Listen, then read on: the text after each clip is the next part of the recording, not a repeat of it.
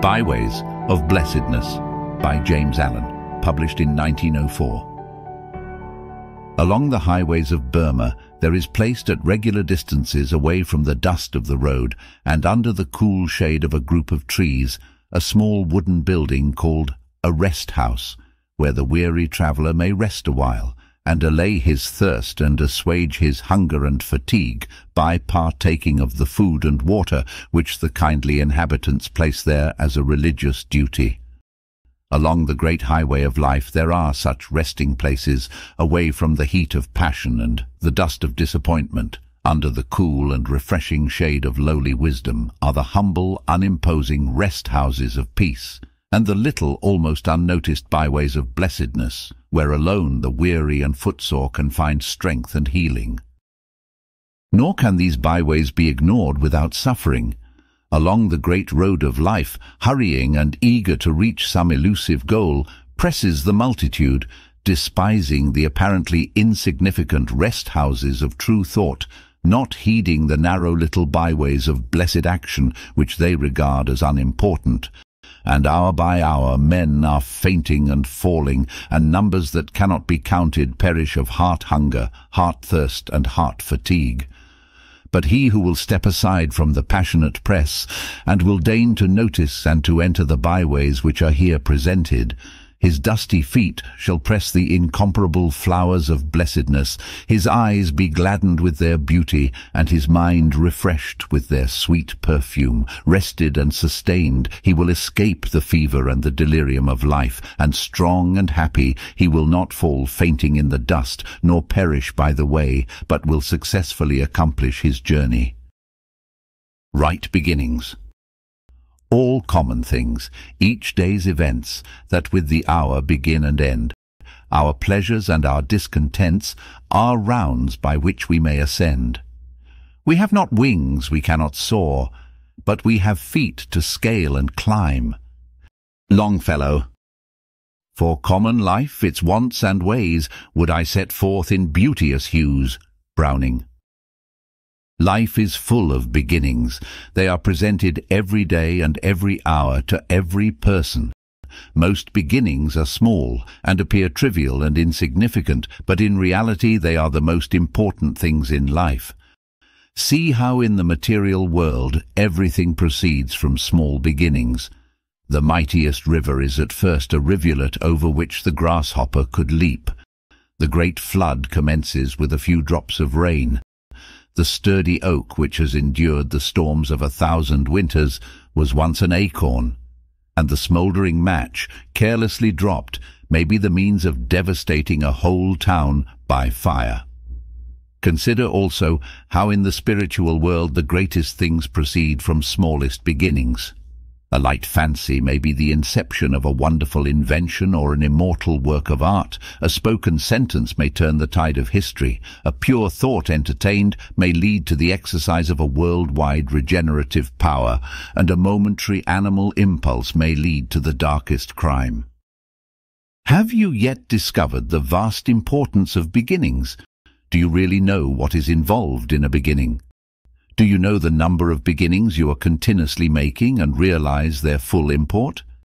If not, come with me for a short time and thoughtfully explore this much ignored byway of blessedness, for blessed it is when wisely resorted to, and much strength and comfort it holds for the understanding mind.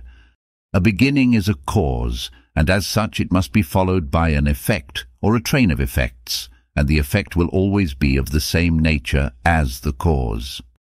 The nature of an initial impulse will always determine the body of its results. A beginning also presupposes an ending, a consummation, achievement or goal. A gate leads to a path, and the path leads to some particular destination. So a beginning leads to results, and results lead to a completion. There are right beginnings and wrong beginnings, which are followed by effects of a like nature. You can, by careful thought, avoid wrong beginnings and make right beginnings, and so escape evil results and enjoy good results. There are beginnings over which you have no control and authority. These are without in the universe, in the world of nature around you, and in other people who have the same liberty as yourself. Do not concern yourself with these beginnings, but direct your energies and attention to those beginnings over which you have complete control and authority, and which bring about the complicated web of results which compose your life. These beginnings are to be found in the realm of your own thoughts and actions, in your mental attitude under the variety of circumstances through which you pass, in your conduct day by day, in short, in your life as you make it, which is your world of good or ill.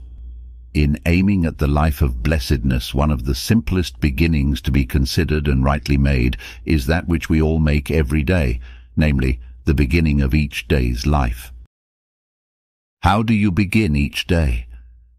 At what hour do you rise? How do you commence your duties? In what frame of mind do you enter upon the sacred life of a new day? What answer can you give your heart to these important questions?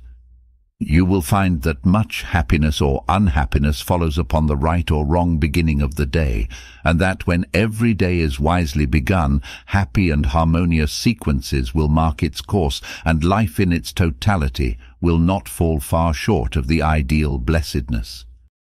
It is a right and strong beginning to the day to rise at an early hour, even if your worldly duty does not demand it, it is wise to make of it a duty and begin the day strongly by shaking off indolence.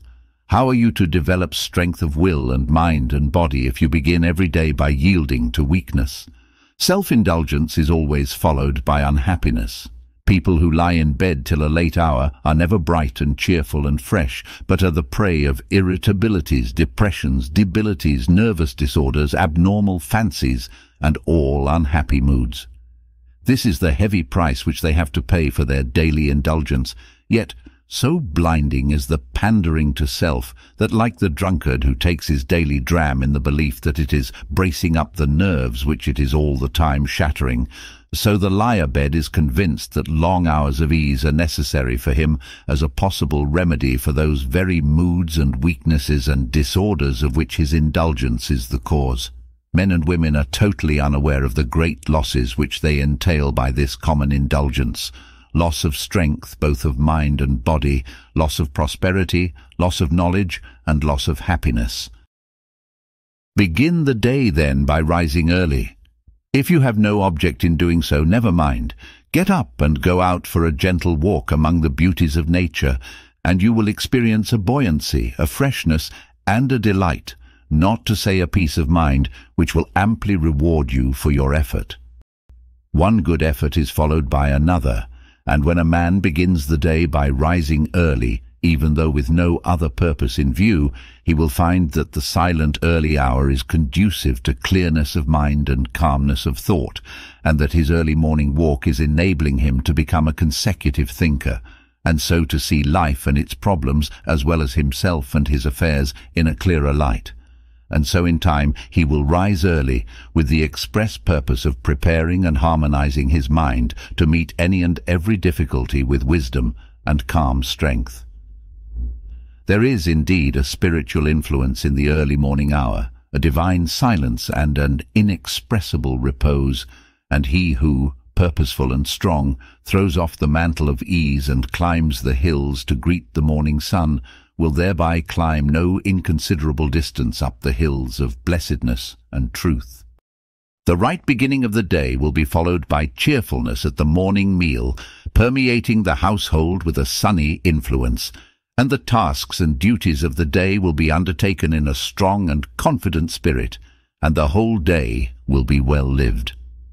Then there is a sense in which every day may be regarded as the beginning of a new life, in which one can think act and live newly and in a wiser and better spirit. Every day is a fresh beginning. Every morn is the world made new. Ye who are weary of sorrow and sinning, here is a beautiful hope for you, a hope for me and a hope for you. Do not dwell upon the sins and mistakes of yesterday so exclusively as to have no energy and mind left for living rightly today. And do not think that the sins of yesterday can prevent you from living purely today.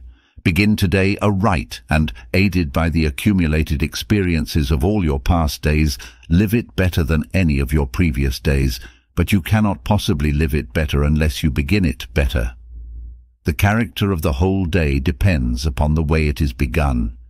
Another beginning which is of great importance is the beginning of any particular and responsible undertaking. How does a man begin the building of a house? He first secures a plan of the proposed edifice and then proceeds to build according to the plan, scrupulously following it in every detail, beginning with the foundation. Should he neglect the beginning, namely the obtaining of a mathematical plan, his labour would be wasted, and his building, should it reach completion without tumbling to pieces, would be insecure and worthless. The same law holds good in any important work. The right beginning and first essential is a definite mental plan on which to build. Nature will have no slipshod work, no slovenliness, and she annihilates confusion, or rather, confusion is in itself annihilation order, definiteness, purpose eternally and universally prevail, and he who in his operations ignores these mathematical elements at once deprives himself of substantiality, completeness, success. Life without a plan, as useless as the moment it began, serves merely as a soil for discontent, to thrive in an encumbrance ere half spent. Let a man start in business without having in his mind a perfectly formed plan to systematically pursue, and he will be incoherent in his efforts and will fail in his business operations. The laws which must be observed in the building of a house also operate in the building up of a business. A definite plan is followed by coherent effort, and coherent effort is followed by well-knit and orderly results, to wit, completeness, perfection, success, happiness. But not only mechanical and commercial enterprise, all undertakings of whatsoever nature come under this law. The author's book, the artist's picture, the orator's speech, the reformer's work, the inventor's machine, the general's campaign are all carefully planned in the mind before the attempt to actualize them is commenced, and in accordance with the unity, solidarity, and perfection of the original mental plan will be the actual and ultimate success of the undertaking. Successful men, influential men, good men are those who, amongst other things, have learned the value and utilized the power which lies hidden in those obscure beginnings which the foolish man passes by as insignificant. But the most important beginning of all, that upon which affliction or blessedness inevitably depends, yet is most neglected and least understood, is the inception of thought in the hidden but causal region of the mind. Your whole life is a series of effects, having their cause in thought, in your own thought. All conduct is made and moulded by thought. All deeds, good or bad, are thoughts made visible. A seed put into the ground is the beginning of a plant or tree. The seed germinates. The plant or tree comes forth into the light and evolves. A thought put into the mind is the beginning of a line of conduct. The thought first sends down its roots into the mind and then pushes forth into the light in the forms of actions or conduct which evolve into character and destiny. Hateful, angry and envious thoughts are wrong beginnings which lead to painful results. Loving, gentle, kind, unselfish and pure thoughts are right beginnings which lead to blissful results. This is so simple, so plain, so absolutely true and yet how neglected, how evaded, and how little understood. The gardener who most carefully studies how, when, and where to put in his seeds obtains the best results and gains the greater horticultural knowledge. The best crops gladden the soul of him who makes the best beginning. The man who most patiently studies how to put into his mind the seeds of strong, wholesome, and charitable thoughts will obtain the best results in life and will gain greater knowledge of truth. The greatest blessedness comes to him who infuses into his mind the purest and noblest thoughts.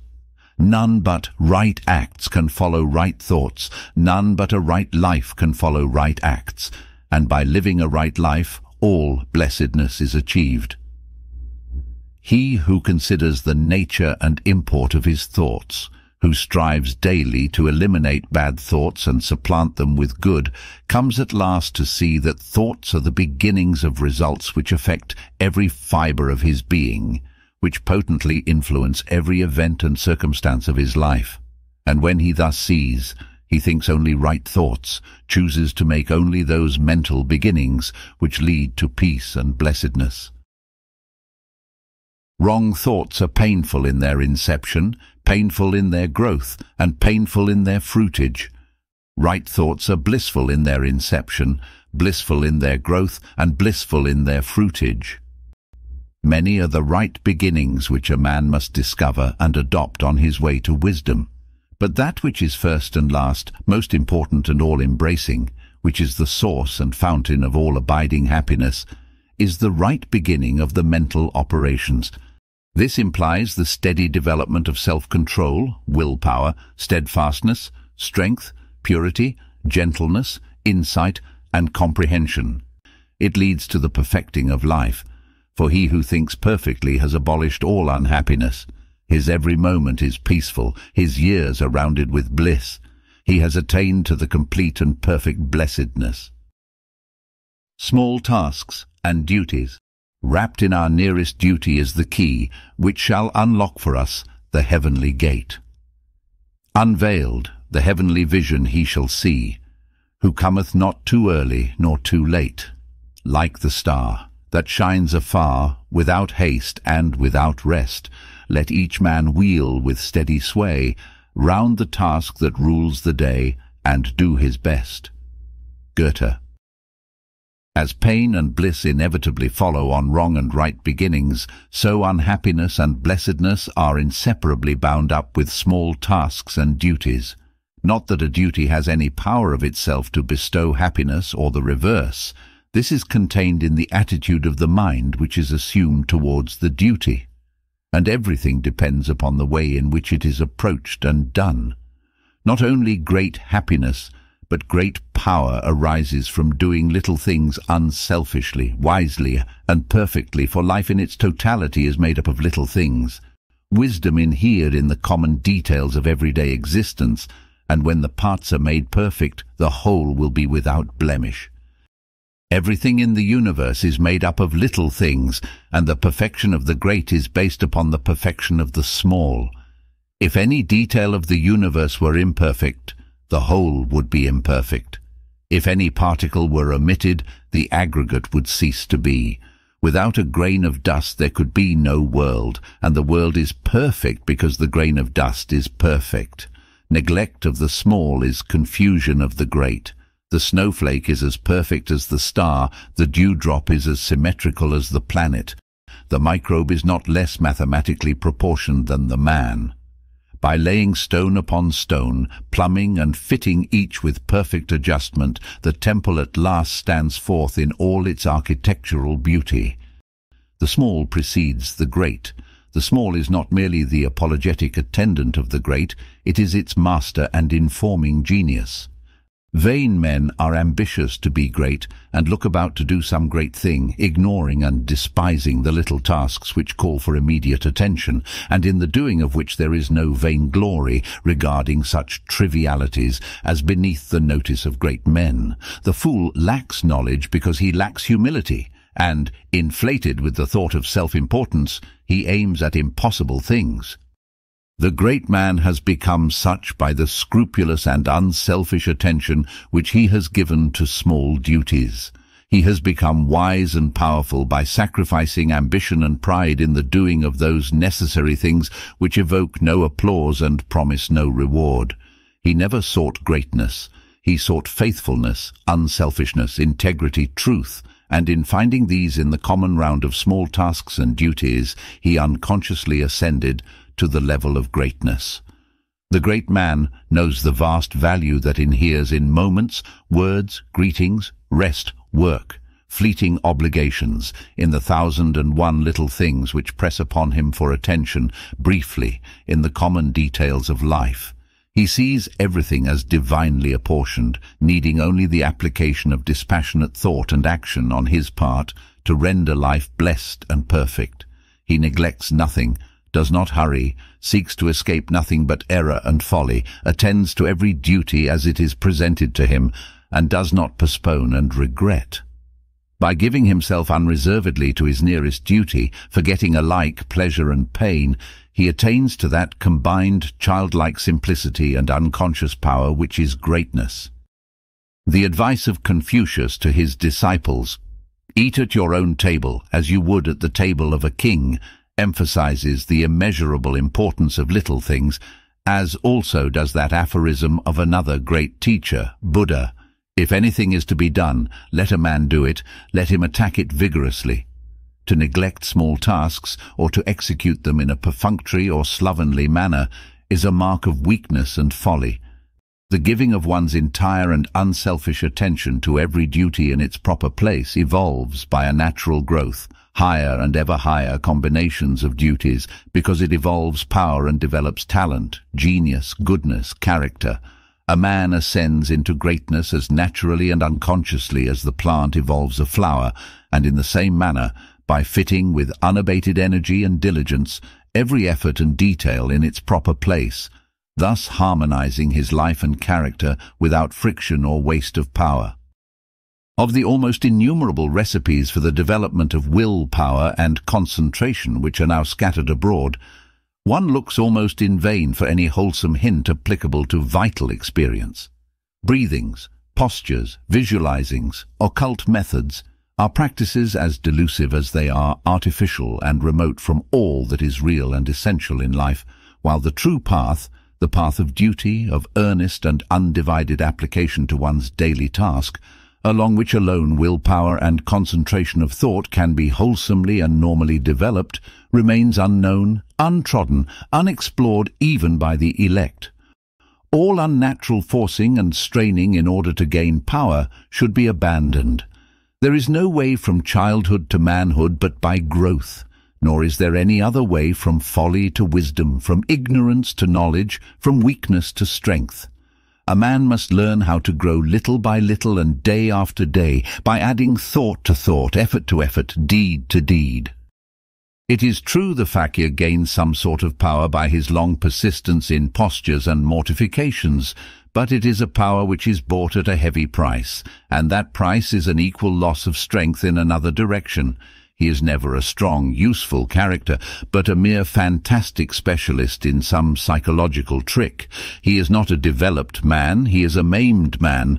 True willpower consists in overcoming the irritabilities, follies, rash impulses, and moral lapses which accompany the daily life of the individual, and which are apt to manifest themselves on every slight provocation, and in developing calmness, self-possession, and dispassionate action in the press and heat of worldly duties, and in the midst of the passionate and unbalanced throng. Anything short of this is not true power, and this can only be developed along the normal pathway of steady growth in executing ever more and more masterfully, unselfishly and perfectly the daily round of legitimate tasks and pressing obligations. The master is not he whose psychological accomplishments, rounded by mystery and wonder, Leave him in unguarded moments the prey of irritability, of regret, of peevishness, or other petty folly or vice, but he whose mastery is manifested in fortitude, non-resentment, steadfastness, calmness, and infinite patience. The true master is master of himself. Anything other than this is not mastery, but delusion the man who sets his whole mind on the doing of each task as it is presented, who puts into it energy and intelligence, shutting all else out from his mind, and striving to do that one thing, no matter how small, completely and perfectly, detaching himself from all reward in his task, that man will every day be acquiring greater command over his mind and will, by ever ascending degrees, become at last a man of power, a master. Put yourself unreservedly into your present task and so work, so act, so live, that you shall leave each task a finished piece of labour. This is the true way to the acquisition of willpower, concentration of thought, and conservation of energy. Look not about for magical formulas, for strained and artificial methods. Every resource is already with you and within you. You have but to learn how wisely to apply yourself in that place which you now occupy. Until this is done, those other and higher places which are waiting for you cannot be taken possession of, cannot be reached.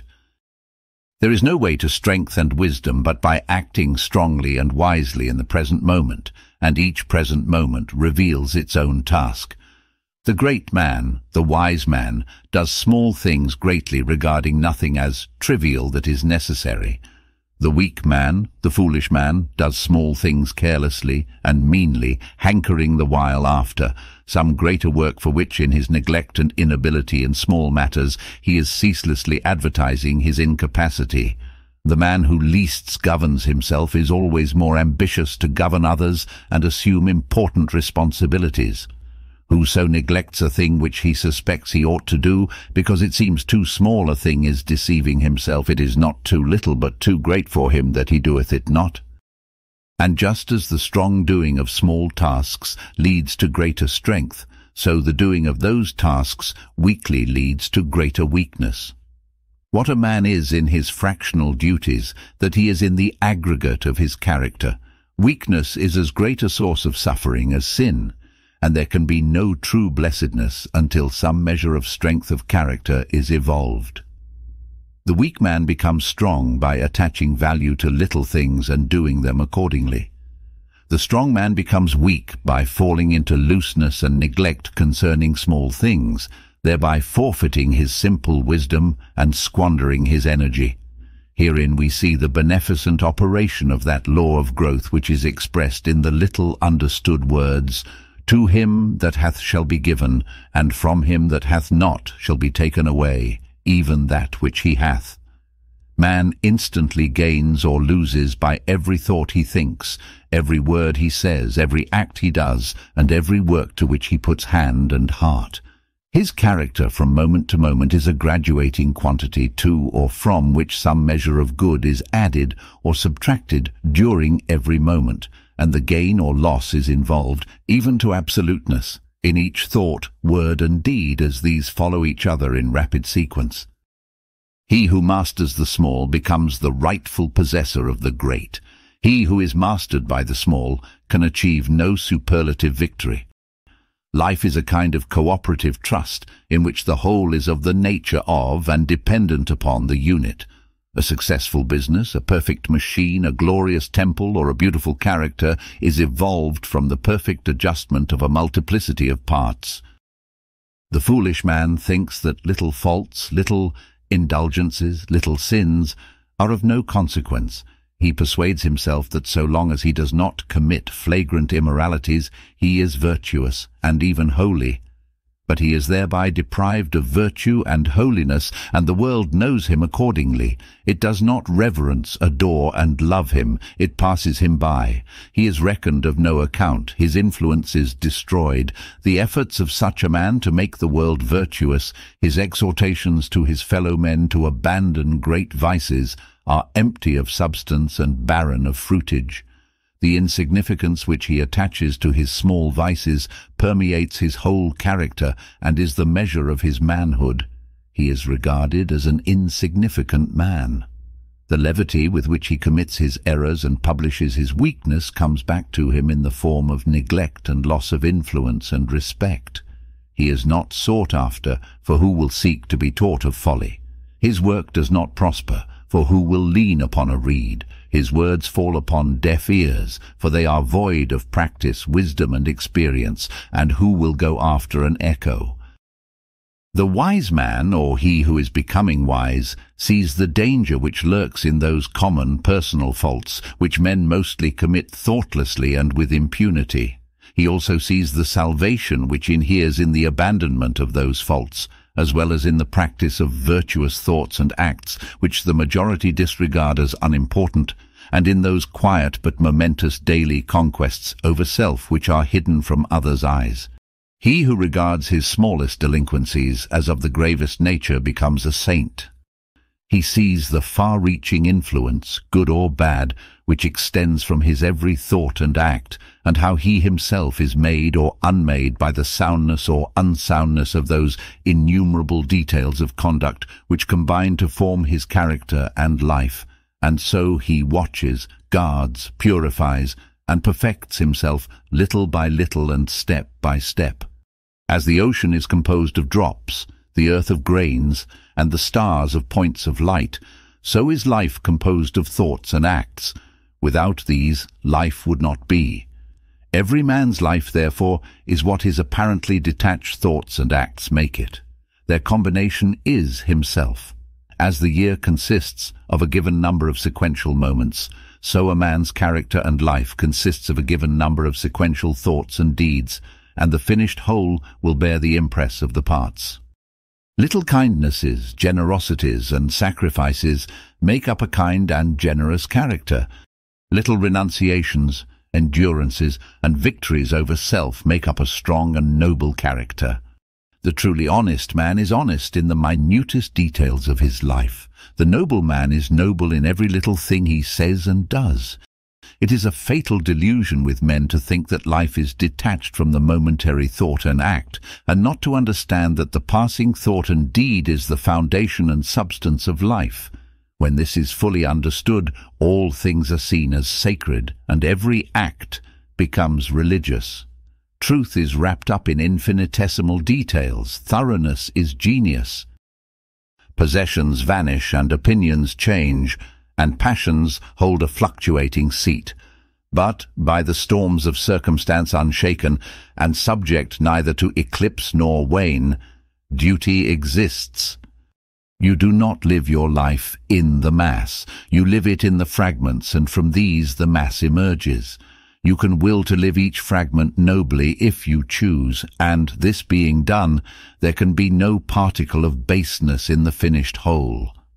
The saying, take care of the pence and the pounds will take care of themselves, is seen to be more than worldly wise when applied spiritually, for to take care of the present, passing act, knowing that by so doing the total sum and amount of life and character will be safely preserved, is to be divinely wise. Do not long to do great and laudable things. These will do themselves if you do your present task nobly. Do not chafe at the restrictions and limitations of your present duty, but be nobly unselfish in the doing of it, putting aside discontent, listlessness, and the foolish contemplation of great deeds which lie beyond you.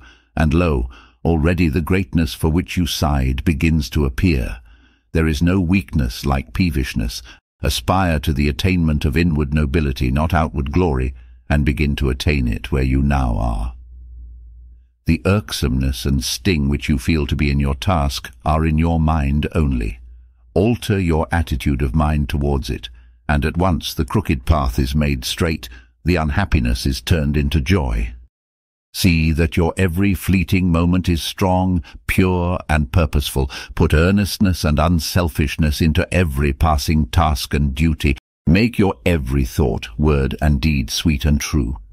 Thus learning by practice and experience the inestimable value of the small things of life you will gather little by little abundant and enduring blessedness.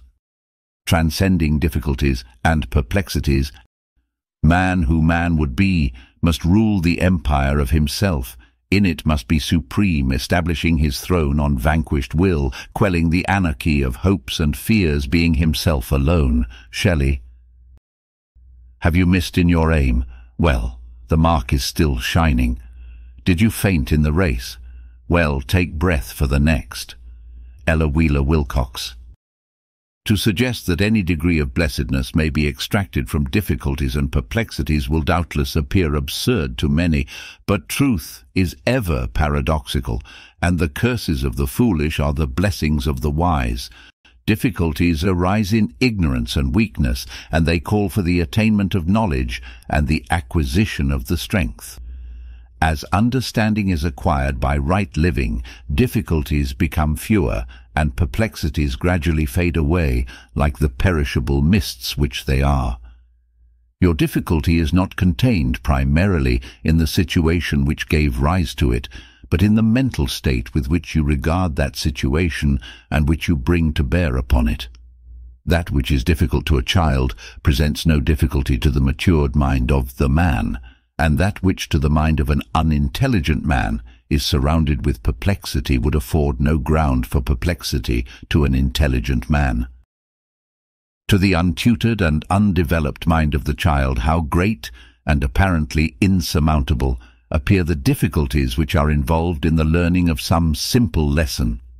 How many anxious and laborious hours and days, or even months, its solution costs, and frequently how many tears are shed in hopeless contemplation of the unmastered and apparently insurmountable wall of difficulty.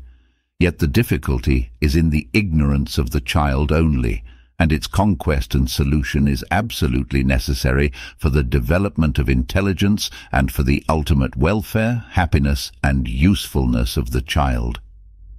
Even so is it with the difficulties of life with which older children are confronted and which it is imperative for their own growth and development that they should solve and surmount and each difficulty solved means so much more experience gained, so much more insight and wisdom acquired. It means a valuable lesson learned, with the added gladness and freedom of a task successfully accomplished. What is the real nature of a difficulty? Is it not a situation which is not fully grasped and understood in all its bearings? As such, it calls for the development and exercise of a deeper insight and broader intelligence than has hitherto been exercised. It is an urgent necessity calling forth unused energy and demanding the expression and employment of latent power and hidden resources. It is therefore a good angel, albeit disguised, a friend, a teacher, and when calmly listened to and rightly understood, leads to larger blessedness and higher wisdom. Without difficulties, there could be no progress, no unfoldment, no evolution. Universal stagnation would prevail, and humanity would perish of ennui. Let a man rejoice when he is confronted with obstacles, for it means that he has reached the end of some particular line of indifference or folly, and is now called upon to summon up all his energy and intelligence in order to extricate himself and to find a better way. That the powers within him are crying out for greater freedom, for enlarged exercise and scope. No situation can be difficult of itself. It is the lack of insight into its intricacies and the want of wisdom in dealing with it which give rise to the difficulty. Immeasurable, therefore, is the gain of a difficulty transcended. Difficulties do not spring into existence arbitrarily and accidentally, they have their causes and are called forth by the law of evolution itself, by the growing necessities of the man's being. Herein resides their blessedness. There are ways of conduct which end inevitably in complications and perplexities, and there are ways of conduct which lead, just as inevitably, out of troublesome complexities. Howsoever tightly a man may have bound himself round, he can always unbind himself. Into whatsoever morasses of trouble and trackless wastes of perplexity he may have ignorantly wandered, he can always find his way out again, can always recover the lost highway of uninvolved simplicity, which leads straight and clear to the sunny city of wise and blessed action. But he will never do this by sitting down and weeping in despair, nor by complaining and worrying and aimlessly wishing he were differently situated. His dilemma calls for alertness and logical thought and calm calculation. His position requires that he shall strongly command himself, that he shall think and search and rouse himself to strenuous and unremitting exertion in order to regain himself. Worry and anxiety only serve to heighten the gloom and exaggerate the magnitude of the difficulty. If he will but quietly take himself to task, and retrace in thought the more or less intricate way by which he has come to his present position, he will soon perceive where he made mistakes, will discover those places where he took a false turn, and where a little more thoughtfulness, judgment, economy, or self-denial would have saved him. He will see how, step by step, he has involved himself, and how a riper judgment and clearer wisdom would have enabled him to take an altogether different and truer course.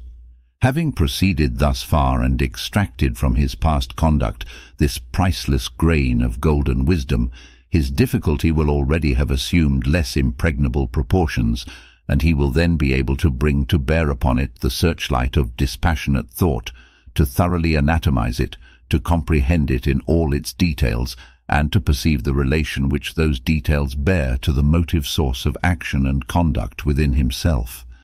This being done, the difficulty will have ceased, for the straight way out of it will plainly appear, and the man will thus have learned for all time his lesson, will have gained an item of wisdom and a measure of blessedness of which he can never again be deprived. Just as there are ways of ignorance, selfishness, folly, and blindness which end in confusion and perplexity, so there are ways of knowledge, self-denial, wisdom, and insight which lead to pleasant and peaceful consummations. He who knows this will meet difficulties in a courageous spirit, and in overcoming them will evolve truth out of error, bliss out of pain, and peace out of perturbation. No man can be confronted with a difficulty which he has not the strength to meet and subdue. Worry is not merely useless, it is folly, for it defeats that power and intelligence which is otherwise equal to the task. Every difficulty can be overcome if rightly dealt with. Anxiety is therefore unnecessary. The task which cannot be overcome ceases to be a difficulty and becomes an impossibility, and anxiety is still unnecessary, for there is only one way of dealing with an impossibility, namely, to submit to it. The inevitable is the best, and just as domestic, uh, social and economic difficulties are born of ignorance and lead to riper knowledge, so every religious doubt, every mental perplexity, every heart-beclouding shadow presages greater spiritual gain, is prophetic of a brighter dawn of intelligence for him on whom it falls. It is a great day in the life of a man, though at the time he knows it not, when bewildering perplexities concerning the mystery of life take possession of his mind, for it signifies that his era of dead indifference, of animal sloth, of mere vegetative happiness has come to an end, and that henceforth he is to live as an aspiring, self-evolving being, no longer a mere human animal, he will now begin to live as a man, exerting all his mental energies to the solution of life's problems, to the answering of those haunting perplexities which are the sentinels of truth and which stand at the gate and threshold of the temple of wisdom. He it is who, when great trials come, nor seeks nor shuns them, but doth calmly stay, nor will he ever rest again in selfish ease and listless ignorance, nor sleekly sate himself upon the swine's husks of fleshly pleasures, nor find a hiding place from the ceaseless whisperings of his heart's dark and indefinable interrogatories. The divine within him has awakened. A sleeping God is shaking off the incoherent visions of the night, never again to slumber, never again to rest, until his eyes rest upon the full, broad day of truth. It is impossible for such a man to hush for any length of time the call to higher purposes and achievements which is aroused within him, for the awakened faculties of his being will ceaselessly urge him on to the unravelling of his perplexities. For him there is no more peace in sin, no more rest in error, no final refuge but in wisdom. Great will be the blessedness of such a man when, conscious of the ignorance of which his doubts and perplexities are born, and acknowledging and understanding that ignorance, not striving to hide himself from it, he earnestly applies himself to its removal, seeks unremittingly day after day for that pathway of light which shall enable him to dispel all the dark shadows, dissolve his doubts, and find the solution to all his pressing problems and as a child is glad when it has mastered a lesson long toiled over, just so a man's heart becomes light and free when he has satisfactorily met some worldly difficulty. Even so, but to a far greater degree, is the heart of a man rendered joyous and peaceful when some vital and eternal question which has been long brooded over and grappled with is at last completely answered, and its darkness is forever dispelled. Do not regard your difficulties and perplexities as portentous of ill. By so doing, you will make them ill. but regard them as prophetic of good, which indeed they are. Do not persuade yourself that you can evade them. You cannot. Do not try to run away from them. This is impossible, for wherever you go they will still be there with you, but meet them calmly and bravely. Confront them with all the dispassion and dignity which you can command. Weigh up their proportions, analyze them, grasp their details, measure their strength, understand them, attack them, and finally vanquish them. Thus will you develop strength and intelligence. Thus will you enter one of those byways of blessedness which are hidden from the superficial gaze. Burden dropping. This to me is life, that if life be a burden I will join, to make it but the burden of a song. Bailey.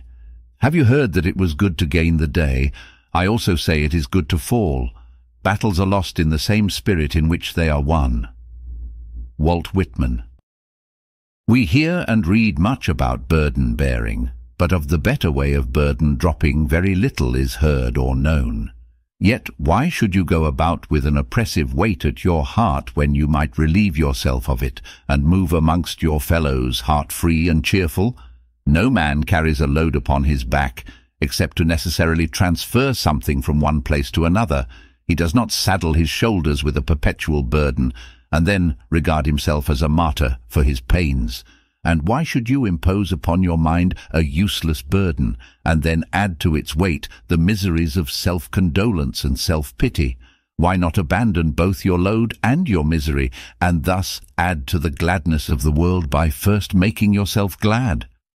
No reason can justify, and no logic support, the ceaseless carrying of a grievous load. As in things material, a load is only undertaken as a necessary means of transference and is never a source of sorrow. So in things spiritual, a burden should only be taken up as a means towards some good and necessary end, which, when attained, the burden is put aside. And the carrying of such a burden, far from being a source of grief, would be a cause for rejoicing. We say that bodily mortifications which some religious ascetics inflict upon themselves are unnecessary and vain, and are the mental mortifications which so many people inflict upon themselves less unnecessary and vain. Where is the burden which should cause unhappiness or sorrow? It does not exist. If a thing is to be done, let it be done cheerfully, and not with inward groanings and lamentations. It is of the highest wisdom to embrace necessity as a friend and guide. It is of the greatest folly to scowl upon necessity as an enemy and to wish or try to overcome or avoid her. We meet our own at every turn, and duties only become oppressive loads when we refuse to recognize and embrace them. He who does any necessary thing in a complaining spirit, hunting the while after unnecessary pleasures, lashes himself with the scorpions of misery and disappointment, and imposes upon himself a doubly weighted burden of weariness and unrest, under which he incessantly groans. I will give my cheerful, unselfish, and undivided attention to the doing of all those things which enter into my compact with life, and though I walk under colossal responsibilities, I shall be unconscious of any troublesome weight or grievous burden. You say a certain thing, a duty, a companionship, or a social obligation, troubles you, is burdensome, and you resign yourself to oppression with the thought, I have entered into this, and will go through with it, but it is a heavy and grievous work. But is the thing really burdensome, or is it your selfishness that is oppressing you? I tell you that that very thing which you regard as so imprisoning a restriction is the first gateway to your emancipation. That work which you regard as a perpetual curse contains for you the actual blessedness which you vainly persuade yourself lies in another and unapproachable direction. All things are mirrors in which you see yourself reflected, and the gloom which you perceive in your work is but a reflection of that mental state which you bring to it. Bring a right and unselfish state of heart to the thing, and lo, it is at once transformed and becomes a means of strength and blessedness, reflecting back that which you have brought to it.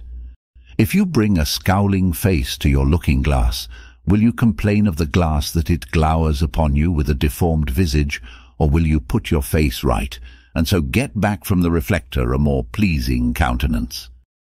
If it is right and necessary that a thing should be done, then the doing of it is good, and it can only become burdensome in wishing not to do it.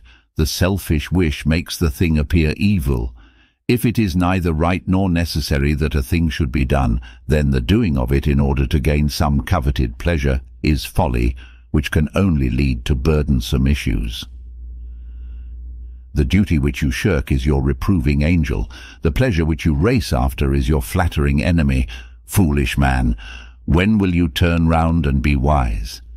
It is the beneficence of the universe that it is everywhere and at all times, urging its creatures to wisdom as it demands coherence of its atoms. That folly and selfishness entails suffering in ever-increasing degrees of intensity is preservative and good for agony is the enemy of apathy and the herald of wisdom. What is painful? What is grievous? What is burdensome? Passion is painful, folly is grievous, selfishness is burdensome. Eliminate passion, folly and selfishness from your mind and conduct, and you will eliminate suffering from your life. Burden dropping consists in abandoning the inward selfishness and putting pure love in its place. Go to your task with love in your heart, and you will go to it light-hearted and cheerful. The mind, through ignorance, creates its own burdens and inflicts its own punishments. No one is doomed to carry any load. Sorrow is not arbitrarily imposed. These things are self-made. Reason is the rightful monarch of the mind, and anarchy reigns in his spiritual kingdom when his throne is usurped by passion. When love of pleasure is to the fore, heaviness and anguish compose the rear. You are free to choose. Even if you are bound by passion and feel helpless, you have bound yourself and are not helpless. Where you have bound, you can unbind. You have come to your present state by degrees, and you can recover yourself by degrees, can reinstate reason and dethrone passion. The time to avoid evil is before pleasure is embraced, but, once embraced, its train of consequences should teach you wisdom. The time to decide is before responsibilities are adopted, but, once adopted, all selfish considerations with their attendant grumblings, whinings, and complainings should be religiously excluded from the heart. Responsibilities lose their weight when carried lovingly and wisely. What heavy burden is a man weighted with which is not made heavier and more unendurable by weak thoughts of selfish desires? If your circumstances are trying, it is because you need them and can evolve the strength to meet them. They are trying because there is some weak spot within you, and they will continue to be trying until that spot is eradicated. Be glad that you have the opportunity of becoming stronger and wiser. No circumstances can be trying to wisdom, nothing can weary love. Stop brooding over your own trying circumstances and contemplate the lives of some of those about you. Here is a woman with a large family who has to make ends meet on a pound a week. She performs all her domestic duties, down to the washing, finds time to attend on sick neighbours, and manages to keep entirely out of the two common quagmires, debt and despondency. She is cheerful from morning to night and never complains of her trying circumstances. She is perennially cheerful because she is unselfish. She is happy in the thought that she is the means of happiness to others. She is perennially cheerful because she is unselfish. She is happy in the thought that she is the means of happiness to others. Were she to brood upon the holidays, the pretty baubles, the lazy hours of which she is deprived, of the plays she cannot see, the music she cannot hear, the books she cannot read, the parties she cannot attend, the good she might do, the friendships she is debarred from forming, of the many pleasures which might only be hers if her circumstances were more favourable. If she brooded thus, what a miserable creature she would be how unbearably laborious her work would become, how every little domestic duty would hang like a millstone about her neck, dragging her down to the grave which, unless she altered her state of mind, she would quickly reach, killed by selfishness. But not living in vain desires for herself, she is relieved of all burdens and is happy. Cheerfulness and unselfishness are sworn friends. Love knows no heavy toil.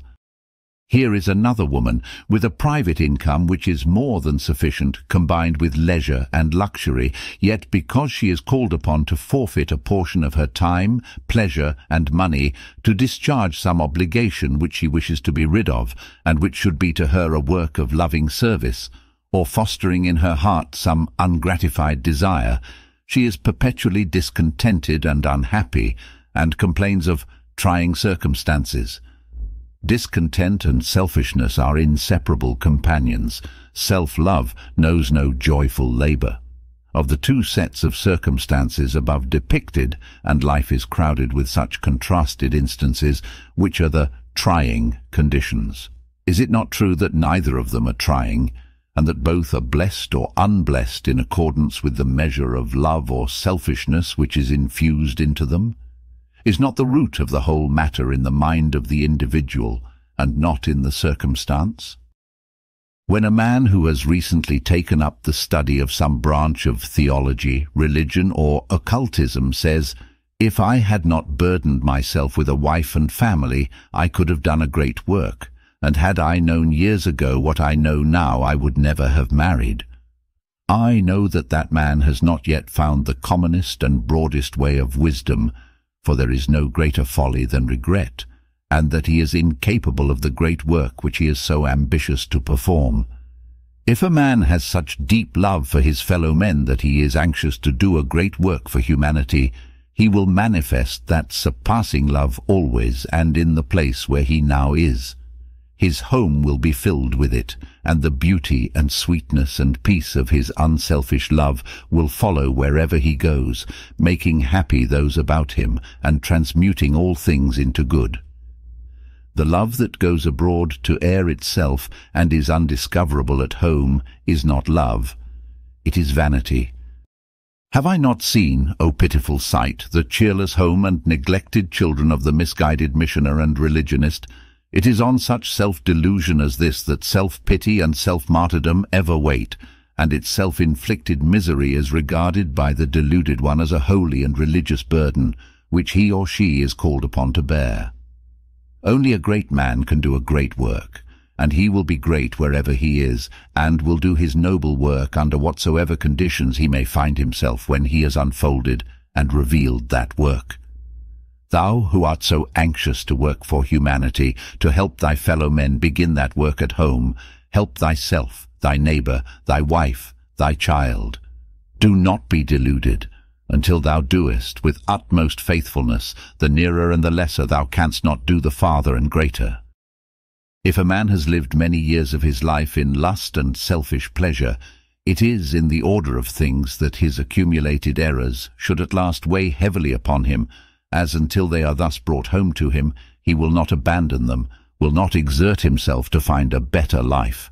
But whilst he regards his self-made, self-imposed burdens as holy crosses imposed upon him by the Supreme, or as marks of superior virtue, or as loads which fate, circumstances, or other people have heaped undeservedly and unjustly upon him, he is but lengthening out his folly, increasing the weight of his burdens, and multiplying his pains and sorrows.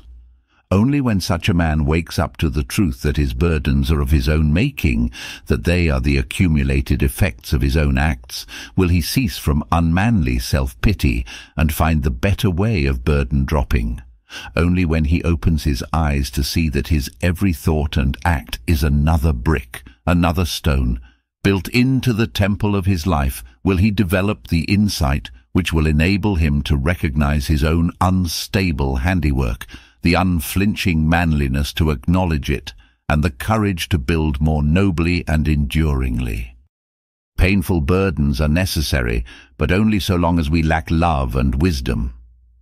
The temple of blessedness lies beyond the outer courts of suffering and humiliation, and to reach it the pilgrim must pass through the outer courts.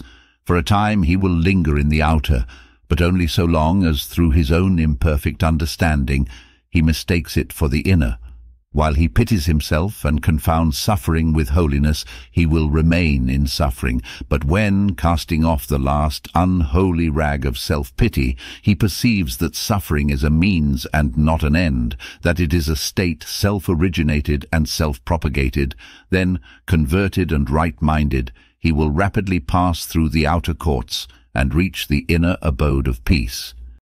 Suffering does not originate in the perfect, but in the imperfect. It does not mark the complete, but the incomplete. It can therefore be transcended. Its self-born cause can be found, investigated, comprehended, and forever removed. It is true, therefore, that we must pass through agony to rest, through loneliness to peace. But let the sufferer not forget that it is a passing through, that the agony is a gateway and not a habitation, that the loneliness is a pathway and not a destination, and that a little farther on he will come to the painless and blissful repose. Little by little is a burden accumulated, imperceptibly and by degrees is its weight increased a thoughtless impulse, a gross self-indulgence, a blind passion yielded to and gratified again and again, an impure thought fostered, a cruel word uttered, a foolish thing done time after time, and at last the gathered weight of many follies becomes oppressive. At first, and for a time, the weight is not felt, but it is being added to day after day, and the time comes when the accumulated burden is felt in all its galling weight, when the bitter fruits of selfishness are gathered and the heart is troubled with the weariness of life. When this period arrives, let the sufferer look to himself. Let him search for the blessed way of burden dropping, finding which he will find wisdom to live better, purity to live sweeter, love to live nobler will find in the reversal of that conduct by which his burdens were accumulated, light-hearted nights and days, cheerful action and unclouded joy. Hidden sacrifices. What need hath man of Eden past or paradise to come, when heaven is round us and within ourselves? Lowliness is the base of every virtue. Who goes the lowest builds, doubt not, the safest. Bailey. Truth is within ourselves. It takes no rise from outward things, whate'er you may believe. Browning. It is one of the paradoxes of truth that we gain by giving up, we lose by greedily grasping. Every gain in virtue necessitates some loss in vice. Every accession of holiness means some selfish pleasure yielded up, and every forward step on the path of truth demands the forfeit of some self-assertive error. He who would be clothed in new garments must first cast away the old, and he who would find the true must sacrifice the false. The gardener digs in the weeds in order that they may feed, with their decay, the plants which are good for food, and the tree of wisdom can only flourish on the compost of uprooted follies. Growth, gain, necessitates sacrifice, loss. The true life, the blessed life, the life that is not tormented with passions and pains, is reached only through sacrifice, not necessarily the sacrifice of outward things, but the sacrifice of the inward errors and defilements, for it is these and these only which bring misery into life. It is not the good and true that needs to be sacrificed, but the evil and false. Therefore all sacrifice is ultimately gain, and there is no essential loss. Yet at first the loss seems great, and the sacrifice is painful. But this is because of the self-delusion and spiritual blindness which always accompany selfishness, and pain must always accompany the cutting away of some selfish portion of one's nature. When the drunkard resolves to sacrifice his lust for strong drink, he passes through a period of great suffering, and he feels that he is forfeiting a great pleasure. But when his victory is complete, when the lust is dead, and his mind is calm and sober, then he knows that he has gained incalculably by the giving up of his selfish animal pleasure. What he has lost was evil and false and not worth keeping, nay, its keeping entailed continual misery, but what he has gained in character, in self-control, in soberness, had greater peace of mind, is good and true, and it was necessary that he should acquire it. So it is with all true sacrifice. It is at first, and until it is completed, painful, and this is why men shrink from it. They cannot see any purpose in abstaining from and overcoming selfish gratification. It seems to them like losing so much that is sweet, seems to them like courting misery and giving up all happiness and pleasure. And this must be so, for if a man could know that by giving up his particular forms of selfishness, his gain in happiness would be immeasurably greater, unselfishness, which is now so difficult of attainment, would then be rendered infinitely more difficult of achievement, for his desire for the greater gain, his selfishness, would thereby be greatly intensified. No man can become unselfish and thereby arrive at the highest bliss until he is willing to lose, looking for neither gain nor reward. It is this state of mind which constitutes unselfishness. A man must be willing to humbly sacrifice his selfish habits and practices because they are untrue and unworthy, and for the happiness of those about him, without expecting any reward or looking for any good to accrue to himself. Nay, he must be prepared to lose for himself, to forfeit pleasure and happiness, even life itself, if by so doing he can make the world more beautiful and happy. But does he lose? Does the miser lose when he gives up his lust for gold? Does the thief lose when he abandons stealing? Does the libertine lose when he sacrifices his unworthy pleasures? No man loses by the sacrifice of self or some portion of self. Nevertheless, he thinks he will lose by so doing. And because he so thinks he suffers, and this is where the sacrifice comes in, this is where he gains by losing. All true sacrifice is within, it is spiritual and hidden and is prompted by deep humility of heart.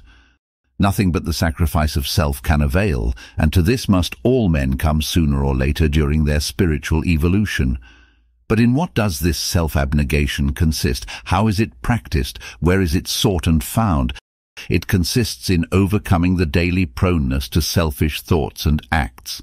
It is practiced in our common intercourse with others, and it is found in the hour of tumult and temptation. There are hidden sacrifices of the heart, which are infinitely blessed both to him that makes them and those for whom they are made, albeit their making costs much effort and some pain. Men are anxious to do some great thing, to perform some great sacrifice which lies beyond the necessities of their experience, while all the time perhaps they are neglecting the one thing needful, are blind to that sacrifice which by its very nearness is rendered imperative. Where lurks your besetting sin?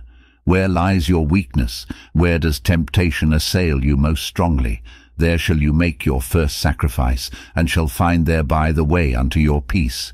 Perhaps it is anger or unkindness, are you prepared to sacrifice the angry impulse and word, the unkind thought and deed? Are you prepared to silently endure abuse, attack, accusation and unkindness, refusing to pay back these in their own coin? Nay, more, are you prepared to give in return for these dark follies kindness and loving protection? If so, then you are ready to make those hidden sacrifices which lead to beatific bliss. If you are given to anger or unkindness, offer it up. These hard, cruel and wrong conditions of mind never brought you any good. They can never bring you anything but unrest, misery and spiritual blindness. Nor can they ever bring to others anything but unhappiness. Perhaps you will say, but he was unkind to me first, he treated me unjustly. Perhaps so, but what a poor excuse is this, what an unmanly and ineffectual refuge. For if his unkindness toward you is so wrong and hurtful, yours to him must be equally so. Because another is unkind to you is no justification of your own unkindness, but is rather a call for the exercise of great kindness on your part. Can the pouring in of more water prevent a flood? Neither can unkindness lessen unkindness, can fire quench fire, neither can anger overcome anger. Offer up all unkindness, all anger. It takes two to make a quarrel. Don't be the other one. If one is angry or unkind to you, try to find out where you have acted wrongly, and whether you have acted wrongly or not, do not throw back the angry word or unkind act. Remain silent, self-contained and kindly disposed, and learn, by continual effort in right-doing, to have compassion upon the wrongdoer. Perhaps you are habitually impatient and irritable. Know then the hidden sacrifice which it is needful that you should make. Give up your impatience, overcome it there where it is wont to assert itself. Resolve that you will yield no longer to its tyrannical sway, but will conquer it and cast it out. It is not worth keeping a single hour, nor would it dominate you for another moment if you were not labouring under the delusion that the follies and perversities of others render impatience on your part necessary. Whatever others may do or say, even though they may mock and taunt you, impatience is not only unnecessary, it can never do any other than aggravate the evil which it seeks to remove. Calm, strong, and deliberate action can accomplish much, but impatience and its accompanying irritability are always indications of weakness and inefficiency. And what do they bestow upon you? Do they bestow rest, peace, happiness, or bring these to those about you? Do they not rather make you and those about you wretched? But though your impatience may hurt others, it certainly hurts and wounds and impoverishes yourself most of all. Nor can the impatient man know aught of true blessedness, for he is a continual source of trouble and unrest to himself. The calm beauty and perpetual sweetness of patience are unknown to him, and peace cannot draw near to soothe and comfort him. There is no blessedness anywhere until impatience is sacrificed, and its sacrifice means the development of endurance, the practice of forbearance, and the creation of a new and gentler habit of mind when impatience and irritability are entirely put away, are finally offered up on the altar of unselfishness, then is realized and enjoyed the blessedness of a strong, quiet and peaceful mind. Each hour we think of others more than self. That hour we live again, and every lowly sacrifice we make for others' good shall make life more than self, and open the windows of thy soul to light from higher spheres. So hail thy lot with lot with joy. Then there are little selfish indulgences, some of which appear harmless and are commonly fostered, but no selfish indulgence can be harmless, and men and women do not know what they lose by repeatedly and habitually succumbing to effeminate and selfish gratifications. If the God in man is to rise strong and triumphant, the beast in man must perish. The pandering to the animal nature, even when it appears innocent and seems sweet, leads away from truth and blessedness.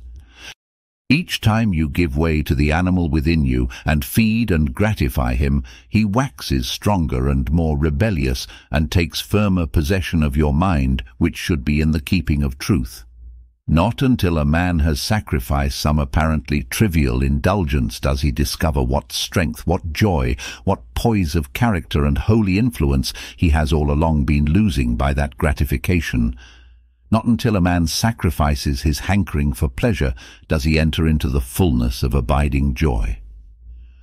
By his personal indulgences a man demeans himself, forfeits self-respect to the extent and frequency of his indulgence, and deprives himself of exemplary influence and the power to accomplish lasting good in his work in the world. He also, by allowing himself to be led by blind desire, increases his mental blindness and fails of that ultimate clearness of vision, that clarified percipience which pierces to the heart of things and comprehends the real and the true. Animal indulgence is alien to the perception of truth. By the sacrifice of his indulgences, man rises above confusion and doubt, and arrives at the possession of insight and surety. Sacrifice your cherished and coveted indulgence. Fix your mind on something higher, nobler and more enduring than ephemeral pleasure. Live superior to the craving for sense excitement, and you will live neither vainly nor uncertainly. Very far-reaching in its effect upon others, and rich with the revelations of truth for him who makes it, is the sacrifice of self-assertion, the giving up of all interference with the lives, views or religion of other people, substituting for it an understanding, love and sympathy. Self-assertion or opinionativeness is a form of egotism or selfishness most generally found in connection with intellectualism and dialectical skill. It is blindly presumptive and uncharitable and, more often than not, is regarded as a virtue, but when once the mind has opened to perceive the way of gentleness and self-sacrificing love, then the ignorance, deformity and painful nature of self-assertion become apparent. The victim of self-assertion, setting up his own opinions as the standard of right and the measure of judgment, regards all those as wrong whose lives and opinions run counter to his own, and, being eager to put others right, is thereby prevented from putting himself right. His attitude of mind brings about him opposition and contradiction from people who are anxious to put him right, and this wounds his vanity and makes him miserable so that he lives in an almost continual fever of unhappy, resentful and uncharitable thoughts. There can be no peace for such a man, no true knowledge and no advancement until he sacrifices his desire to bend others to his own way of thinking and acting. Nor can he understand the hearts of others and enter lovingly into their strivings and aspirations. His mind is cramped and embittered and he is shut out from all sweet sympathy and spiritual communion.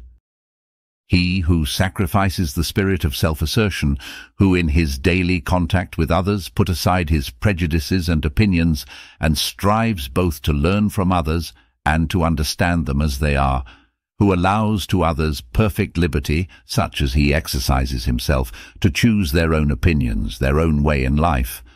Such a man will acquire a deeper insight, a broader charity, and a richer bliss than he has hitherto experienced, and will strike a byway of blessedness from which he has formerly shut out. Then there is the sacrifice of greed and all greedy thoughts, the willingness that others should possess rather than we, the not coveting of things for ourselves, but rejoicing that they are possessed and enjoyed by others, that they bring happiness to others, the ceasing to claim one's own, and the giving up to others unselfishly and without malice that which they exact. This attitude of mind is a source of deep peace and great spiritual strength. It is the sacrifice of self-interest. Material possessions are temporary, and in this sense we cannot truly call them our own. They are merely in our keeping for a short time, but spiritual possessions are eternal and must ever remain with us. Unselfishness is a spiritual possession which is only secured by ceasing to covet material possessions and enjoyments, by ceasing to regard things as for our own special and exclusive pleasure, and by our readiness to yield them up for the good of others. The unselfish man, even though he finds himself involved in riches, stands aloof in his mind from the idea of exclusive possession, and so escapes the bitterness and fear and anxiety which ever accompany the covetous spirit. He does not regard any of his outward accretions as being too valuable to lose, but he regards the virtue of unselfishness as being too valuable to the world, to suffering humanity, to lose or cast away. And who is the blessed man? He who is ever hankering after more possessions, thinking only of the personal pleasure he can get out of them, or he who is ever ready to give up what he has for the good and happiness of others, by greed, happiness is destroyed. By not greed, happiness is restored.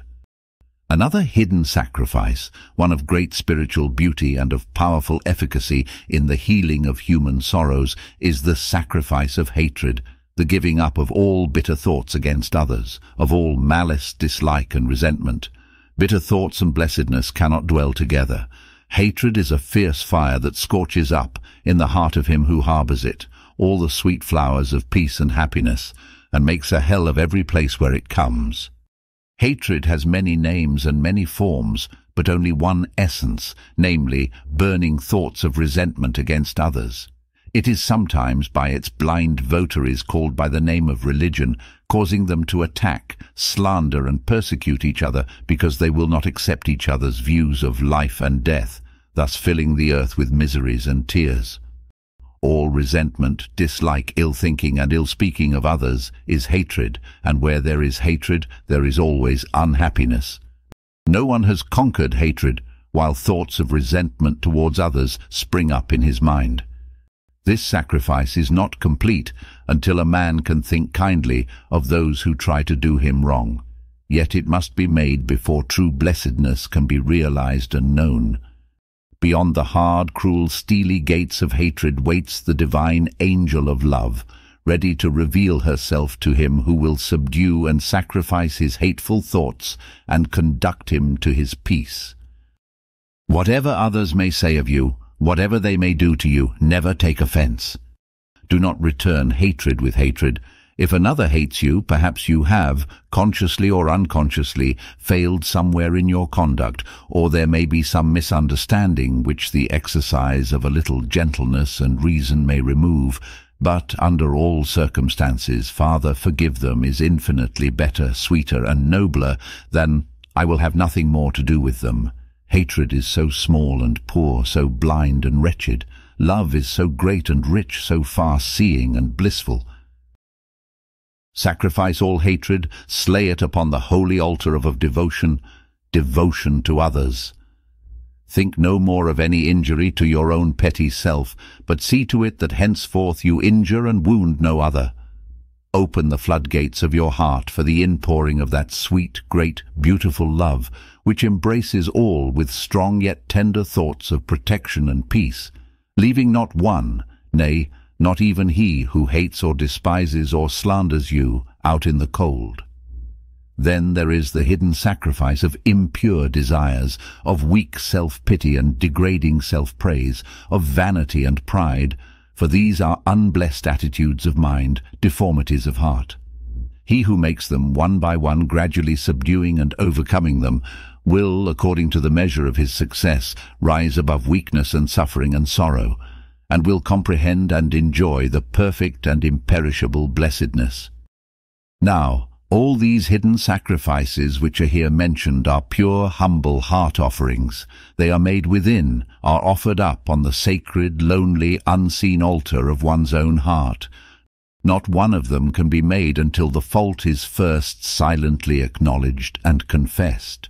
No man can sacrifice an error until he first of all confess to himself I am in error, when, yielding it up, he will perceive and receive the truth which his error formerly obscured.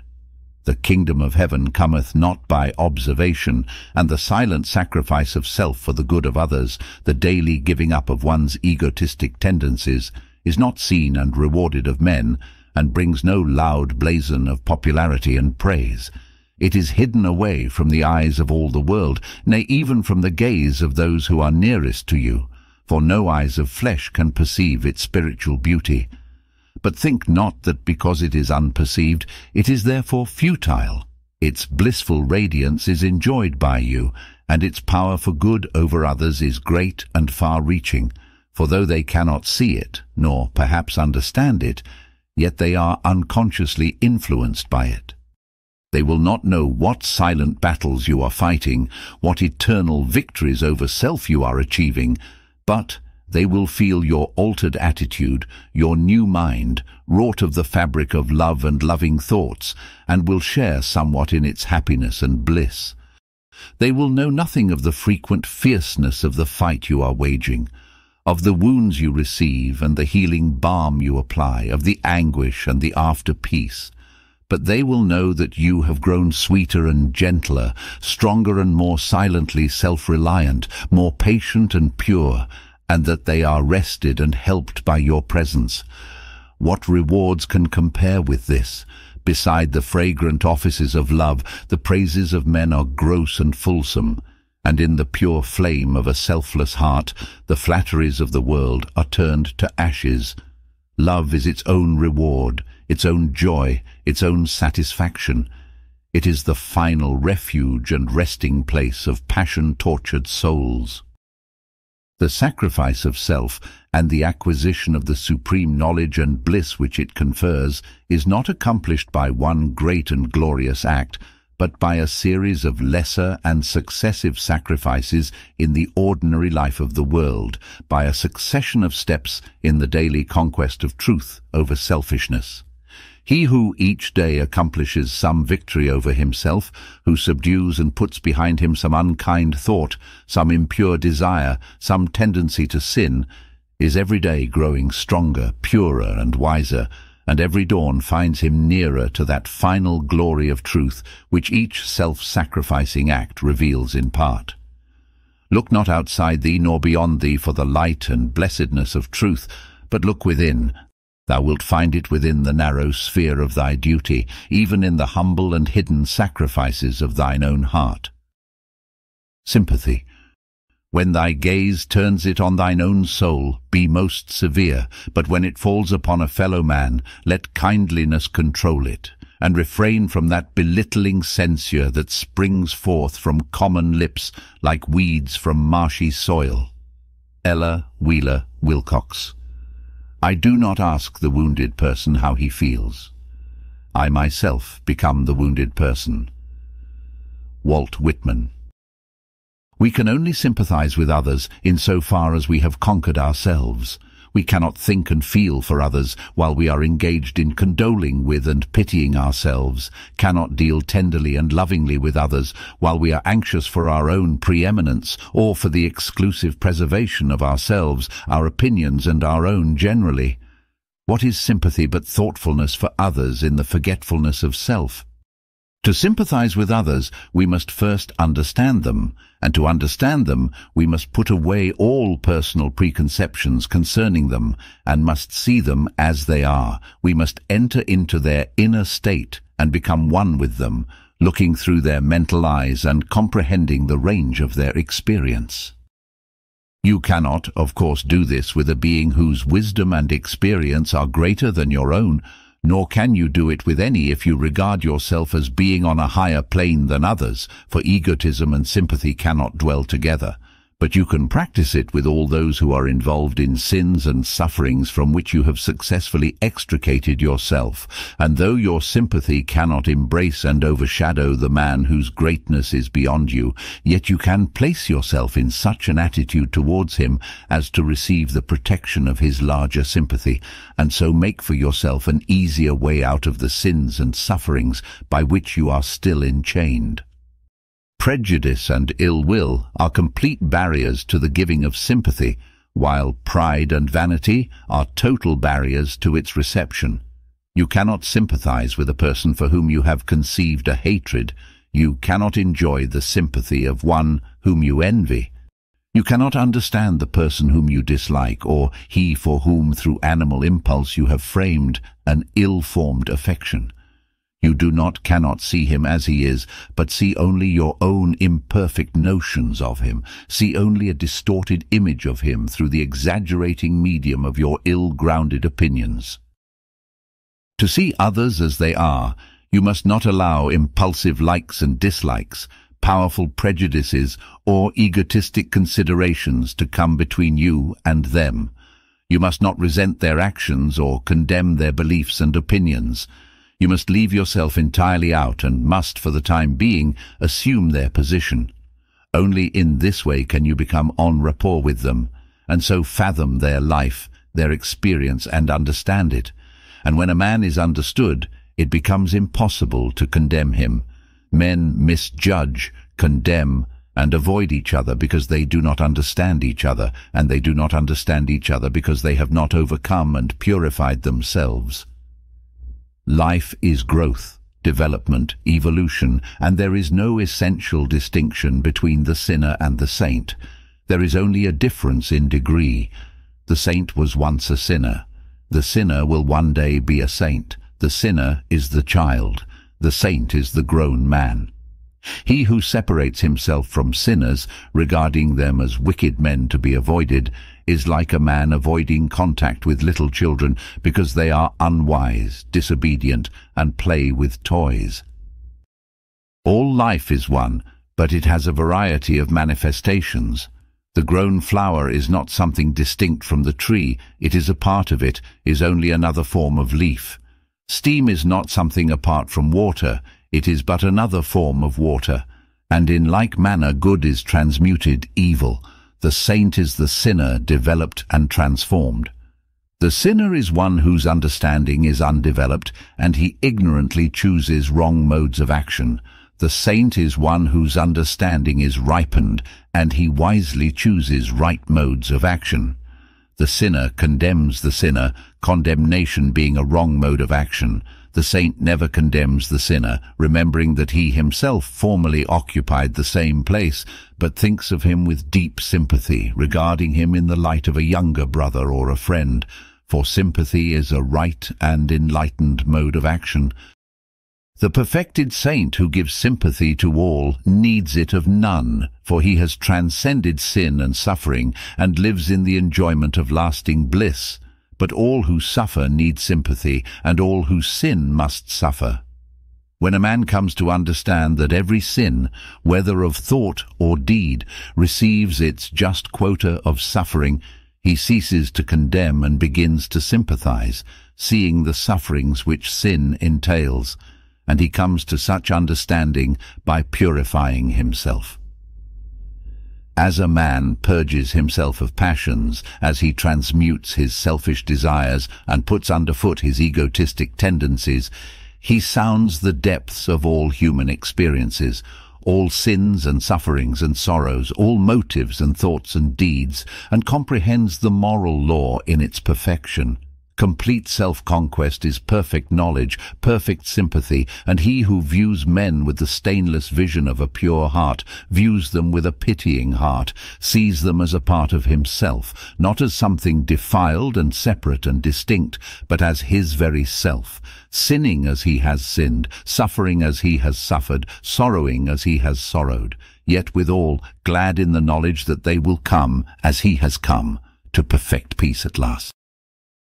The truly good and wise man cannot be a passionate partisan, but extends his sympathy to all, seeing no evil in others to be condemned and resisted, but seeing the sin which is pleasant to the sinner, and the after-sorrow and pain which the sinner does not see, and, when it overtakes him, does not understand.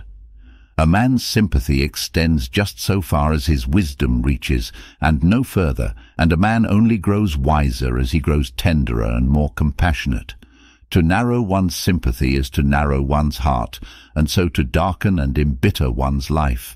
To extend and broaden one's sympathy is to enlighten and gladden one's life, and to make plainer to others the way of light and gladness.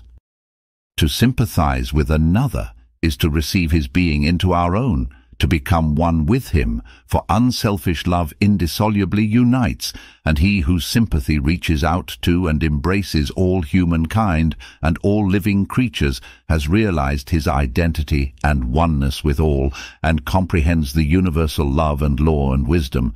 Man is shut out from heaven and peace and truth only insofar as he shuts out others from his sympathy, where his sympathy ends, his darkness and torment and turmoils begin, for to shut others out from our love is to shut ourselves out from the blessedness of love, and to become cramped in the dark prison of self. Whoever walks a furlong without sympathy walks to his own funeral dressed in a shroud. Only when one's sympathy is unlimited is the eternal light of truth revealed. Only in the love that knows no restriction is the boundless bliss enjoyed. Sympathy is bliss. In it is revealed the highest, purest blessedness. It is divine, for in its reciprocal light all thought of self is lost, and there remains only the pure joy of oneness with others, the ineffable communion of spiritual identity, where a man ceases to sympathize, he ceases to live, ceases to see and realize and know. One cannot truly sympathize with others until all selfish considerations concerning them are put away, and he who does this and strives to see others as they are strives to realize their particular sins, temptations and sorrows, their beliefs, opinions and prejudices, comes at last to see exactly where they stand in their spiritual evolution, comprehends the arc of their experience, and knows that they cannot for the present act otherwise than they do.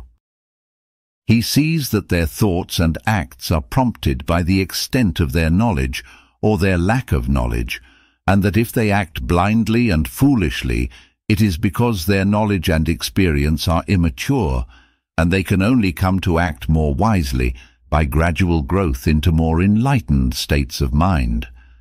He also sees that though this growth can be encouraged, helped and stimulated by the influence of a riper example, by seasonable words and well-timed instruction, it cannot be unnaturally forced, the flowers of love and wisdom must have time to grow, and the barren branches of hatred and folly cannot be all cut away at once. Such a man finds the doorway into the inner world of those with whom he comes in contact, and he opens it and enters in and dwells with them in the hidden and sacred sanctuary of their being, and he finds nothing to hate, nothing to revile, nothing to condemn in that sacred place, but something to love and tend, and in his own heart room only for greater pity, greater patience, greater love. He sees that he is one with them, that they are but another aspect of himself, that their natures are not different from his own, except in modification and degree, but are identical with it. If they are acting out certain sinful tendencies, he has but to look within to find the same tendencies in himself, albeit perhaps restrained or purified. If they are manifesting certain holy and divine qualities, he finds the same pure spirit within himself, though perhaps in a lesser degree of power and development. One touch of nature makes the whole world kin. The sin of one is the sin of all. The virtue of one is the virtue of all. No man can be separate from another. There is no difference of nature, but only difference of condition. If a man thinks he is separated from another by virtue of his superior holiness, he is not so separated, and his darkness and delusion are very great. Humanity is one, and in the holy sanctuary of sympathy saint and sinner meet and unite. It is said of Jesus that he took upon himself the sins of the whole world, that is, he identified himself with those sins and did not regard himself as essentially separate from sinners, but as being of a like nature with them, and his realization of his oneness with all men was manifested in his life as profound sympathy with those who, for their deep sins, were avoided and cast off by others. And who is it that is in the greatest need of sympathy? Not the saint, not the enlightened seer, not the perfect man. It is the sinner, the unenlightened man, the imperfect one, and the greater the sin, the greater is the need. I came not to call the righteous, but sinners to repentance, is the statement of one who comprehended all human needs. The righteous man does not need your sympathy, but the unrighteous. He who, by his wrongdoing, is laying up for himself long periods of suffering and woe, is in need of it. The flagrantly unrighteous man is condemned despised, and avoided by those who are living in a similar condition to himself, though for the time being they may not be subject to his particular form of sin, for that withholding of sympathy and that mutual condemnation which are so rife is the commonest manifestation of that lack of understanding in which all sin takes its rise. While a man is involved in sin, he will condemn others who are likewise involved, and the deeper and greater his sin, the more severe will be his condemnation of others. It is only when a man begins to sorrow for his sin, and so to rise above it into the clearer light of purity and understanding, that he ceases from condemning others and learns to sympathize with them. But this ceaseless condemnation of each other by those who are involved in the fierce play of the passions must needs be for it one of the modes of operation of the great law which universally and eternally obtains, and the unrighteous one who falls under the condemnation of his fellows will the more rapidly reach a higher and nobler condition of heart and life if he humbly accepts the censure of others as the effect of his own sin and resolves henceforward to refrain from all condemnation of others. The truly good and wise man condemns none, having put away all blind passion and selfishness, he lives in the calm regions of love and peace, and understands all modes of sin with their consequent sufferings and sorrows. Enlightened and awakened, freed from all selfish bias, and seeing men as they are, his heart responds in holy sympathy with all. Should any condemn, abuse, or slander him, he throws around them the kindly protection of his sympathy, seeing the ignorance which prompts them so to act, and knowing that they alone will suffer for their wrong acts. Learn by self-conquest and the acquisition of wisdom to love him whom you now condemn, to sympathize with those who condemn you. Turn your eyes away from their condemnation and search your own heart to find, perchance, some hard, unkind, or wrong thoughts, which, when discovered and understood, you will condemn yourself. Much that is commonly called sympathy is personal affection. To love them who love us is human bias and inclination, but to love them who do not love us is divine sympathy. Sympathy is needed because of the prevalence of suffering, for there is no being or creature who has not suffered. Through suffering, sympathy is evolved. Not in a year or a life or an age is the human heart purified and softened by suffering, but after many lives of intermittent pain, after many ages of ever-recurring sorrow, man reaps the golden harvest of his experiences and garners in the rich, ripe sheaves of love and wisdom, and then he understands, and understanding, he sympathizes. All suffering is the result of ignorantly violated law, and after many repetitions of the same wrong act and the same kind of suffering resulting from that act, knowledge of the law is acquired, and the higher state of obedience and wisdom is reached. Then there blossoms the pure and perfect flower of sympathy. One aspect of sympathy is that of pity, pity for the distressed or pain-stricken, with a desire to alleviate or help them bear their sufferings. The world needs more of this divine quality. For pity makes the world soft to the weak and noble for the strong but it can only be developed by eradicating all hardness and unkindness, all accusation and resentment. He who, when he sees another suffering for his sin, hardens his heart and thinks or says, it serves him right. Such a one cannot exercise pity nor apply its healing balm. Every time a man acts cruelly towards another, be it only a dumb creature, or refuses to bestow needed sympathy, he dwarfs himself, deprives himself of ineffable blessedness, and prepares himself for suffering. Another form of sympathy is that of rejoicing with those who are more successful than ourselves, as though their success were our own. Blessed indeed is he who is free from all envy and malice, and can rejoice and be glad when he hears of the good fortune of those who regard him as an enemy. The protecting of creatures weaker and more indefensible than oneself is another form in which this divine sympathy is manifested. The helpless frailty of the dumb creation calls for the exercise of the deepest sympathy. The glory of superior strength resides in its power to shield, not to destroy. Not by the callous of destruction of weaker things is life truly lived, but by their preservation. All life is linked and kin, and the lowest creature is not separated from the highest but by greater weakness, by lesser intelligence. When we pity and protect, we reveal and enlarge the divine life and joy within ourselves. When we thoughtlessly or callously inflict suffering or destroy, then our divine life becomes obscured and its joy fades and dies. Bodies may feed bodies and passions passions, but man's divine nature is only nurtured, sustained, and developed by kindness, love, sympathy, and all pure and unselfish acts. By bestowing sympathy on others, we increase our own. Sympathy given can never be wasted. Even the meanest creature will respond to its heavenly touch, for it is the universal language which all creatures understand. I have recently heard a true story of a Dartmoor convict whose terms of incarceration in various convict stations extended to over 40 years. As a criminal, he was considered one of the most callous and hopelessly abandoned, and the warders found him almost intractable.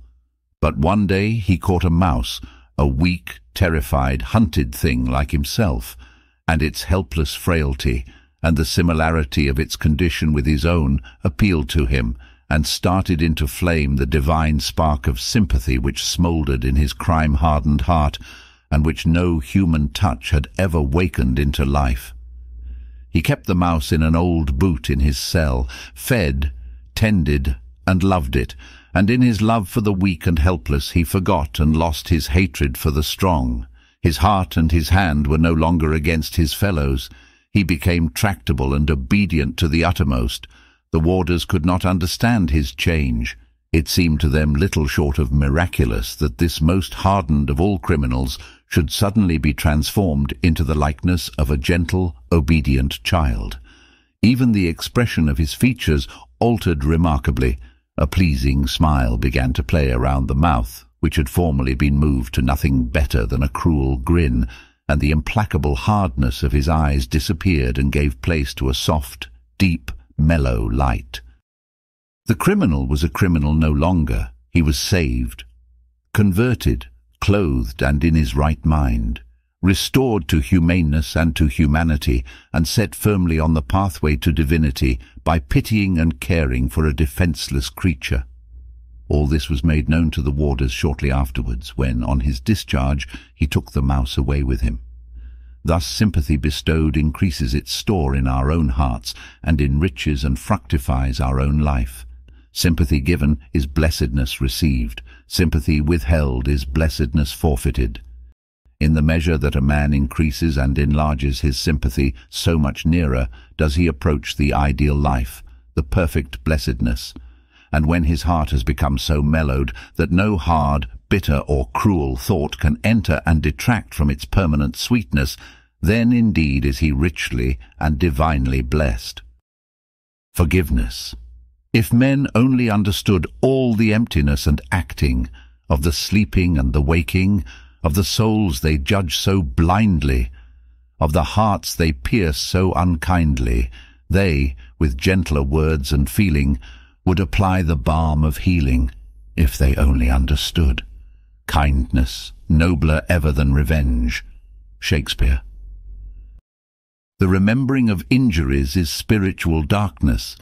The fostering of resentment is spiritual suicide. To resort to the spirit and practice of forgiveness is the beginning of enlightenment. It is also the beginning of peace and happiness. There is no rest for him who broods over slights and injuries and wrongs, no quiet repose of mind for him who feels that he has been unjustly treated and who schemes how best to act for the discomfiture of his enemy. How can happiness dwell in a heart that is so disturbed by ill will? Do birds resort to a burning bush wherein to build and sing? Neither can happiness inhabit in that breast that is aflame with burning thoughts of resentment. Nor can wisdom come and dwell where such folly resides. Revenge seems sweet only to the mind that is unacquainted with the spirit of forgiveness. But when the sweetness of forgiveness is tasted, then the extreme bitterness of revenge is known. Revenge seems to lead to happiness to those who are involved in the darkness of passion, but when the violence of passion is abandoned and the mildness of forgiveness is restored to, then it is seen that revenge leads to suffering. Revenge is a virus which eats into the very vitals of the mind and poisons the entire spiritual being. Resentment is a mental fever which burns up the wholesome energies of the mind, and taking offence is a form of moral sickness which saps the healthy flow of kindliness and goodwill, and from which men and women should seek to be delivered. The unforgiving and resentful spirit is a source of great suffering and sorrow, and he who harbours and encourages it, who does not overcome and abandon it, forfeits much blessedness and does not obtain any measure of true enlightenment. To be hard-hearted is to suffer, is to be deprived of light and comfort. To be tender-hearted is to be serenely glad, is to receive light and be well comforted. It will seem strange to many to be told that the hard-hearted and unforgiving suffer most. Yet it is profoundly true, for not only do they, by the law of attraction, draw to themselves the revengeful passions in other people, but their hardness of heart itself is a continual source of suffering. Every time a man hardens his heart against a fellow being, he inflicts upon himself five kinds of suffering, namely the suffering of loss of love, the suffering of lost communion and fellowship, the suffering of a troubled and confused mind, the suffering of wounded passion or pride, and the suffering of punishment inflicted by others. Every act of unforgiveness entails upon the doer of that act these five sufferings, whereas every act of forgiveness brings to the doer five kinds of blessedness, the blessedness of love, the blessedness of increased communion and fellowship, the blessedness of a calm and peaceful mind, the blessedness of passion stilled and pride overcome, and the blessedness and kindness and goodwill bestowed by others. Numbers of people are today suffering the fiery torments of an unforgiving spirit, and only when they make an effort to overcome that spirit can they know what a cruel and exacting taskmaster they are serving. Only those who have abandoned the service of such a master for that of the nobler master of forgiveness can realize and know how grievous a service is the one, how sweet the other. Let a man contemplate the strife of the world, how individuals and communities, neighbors and nations live in continual retaliations towards each other. Let him realize the heartaches, the bitter tears, the grievous partings and misunderstandings, yea, even the bloodshed and woe which spring from that strife, and thus realizing he will never again yield to ignoble thoughts of resentment, never again take offense at the actions of others, never again live in unforgiveness towards any being. Have goodwill to all that lives, letting unkindness die, and greed and wrath, so that your lives be made like soft airs passing by. When a man abandons retaliation for forgiveness, he passes from darkness to light. So dark and ignorant is unforgiveness that no being who is at all wise or enlightened could descend to it, but its darkness is not understood and known until it is left behind, and the better and nobler course of conduct is sought and practiced.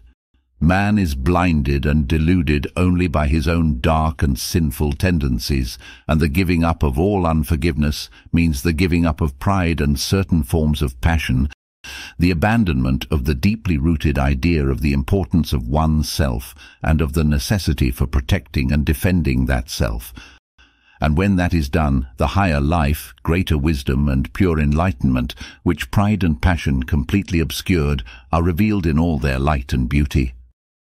Then there are petty offences, little spites and passing slights, which, while of a less serious nature than deep-seated hatreds and revenges, dwarf the character and cramp the soul. They are due to the sin of self and self-importance and thrive on vanity. Whosoever is blinded and deluded by vanity will continually see something in the actions and the attitudes of others towards him at which to take offence. And the more there is of vanity, the more greatly will the imaginary slight or wrong be exaggerated. Moreover, to live in the frequent indulgence of petty resentments increase the spirit of hatred and leads gradually downward to greater darkness, suffering and self-delusion. Don't take offense or allow your feelings to be hurt, which means get rid of pride and vanity. Don't give occasion for offense or hurt the feelings of others, which means be gently considerate, forgiving and charitable towards all. The not taking offense and the not giving offense go together. When a man ceases to resent the actions of others, he is already acting kindly towards them, considering them before himself or his own defense. Such a man will be gently in what he says and does, will arouse love and kindness in others, and not stir them up to ill will and strife.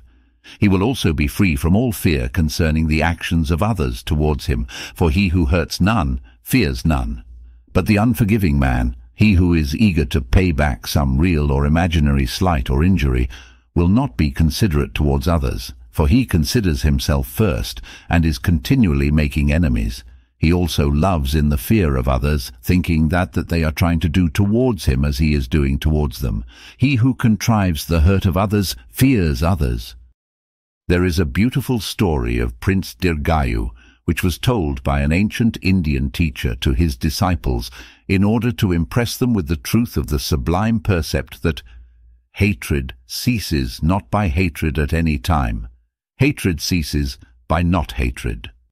The story is as follows. Brahmadatta, a powerful king of Benares, made war upon Dirgeti, the king of Kosala, in order to annex his kingdom, which was much smaller than his own. Dirgeti, seeing that it was impossible for him to resist the greater power of Brahmadatta, fled and left his kingdom in his enemy's hands.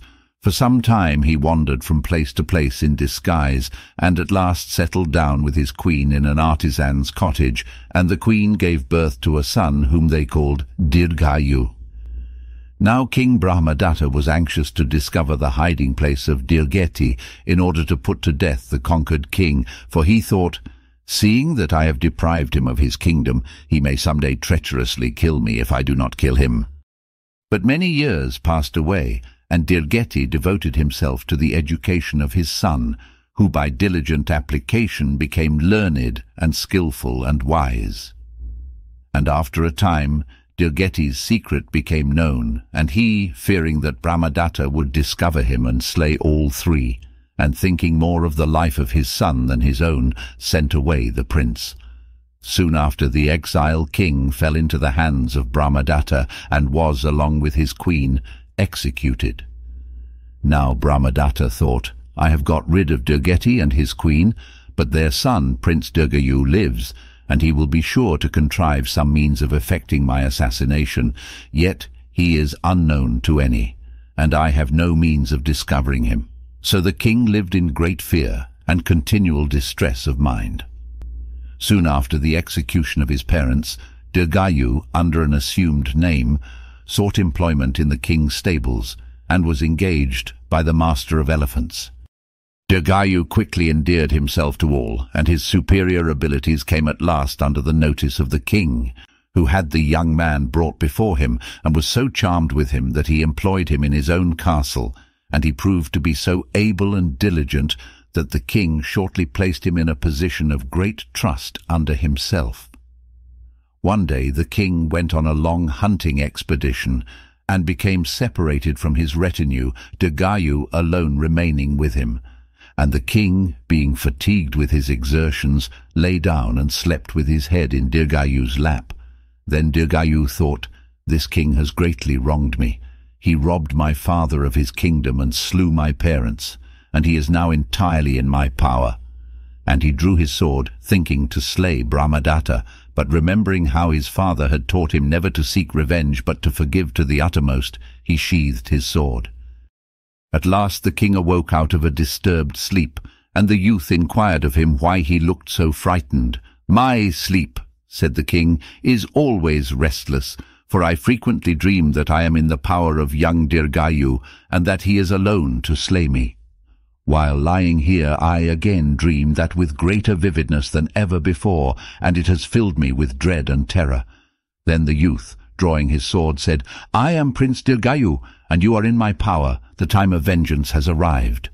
Then the king fell upon his knees and begged Dirgayu to spare his life. And Dirgayu said, It is you, O king, who must spare my life. For many years you have wished to find me in order that you might kill me. And now that you have found me, let me beg of you to grant me my life. And there and then did Brahmadatta and Dirgayu grant each other life, took hands, and solemnly vowed never to harm each other. And so overcome was the king by the noble and forgiving spirit of Dirgayu that he gave him his daughter in marriage and restored to him his father's kingdom. Thus hatred ceases by not hatred, by forgiveness, which is very beautiful and is sweeter and more effective than revenge.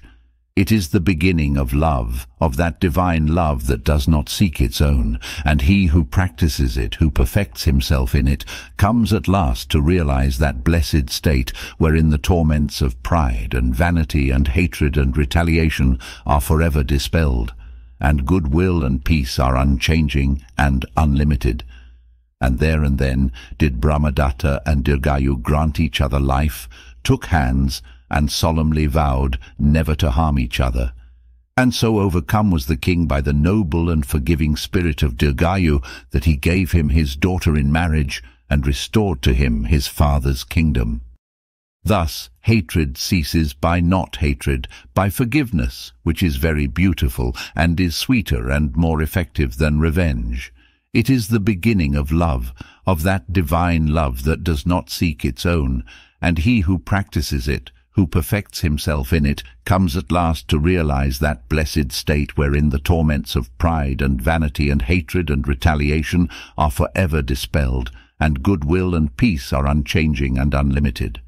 In that state of calm, silent bliss, even forgiveness passes away and is no longer needed, for he who has reached it sees no evil to resent, but only ignorance and delusion on which to have compassion, and forgiveness is only needed so long as there is any tendency to resent, retaliate, and take offense. Equal love towards all is the perfect law, the perfect state in which all lesser states find their completion. Forgiveness is one of the doorways in the faultless temple of love divine.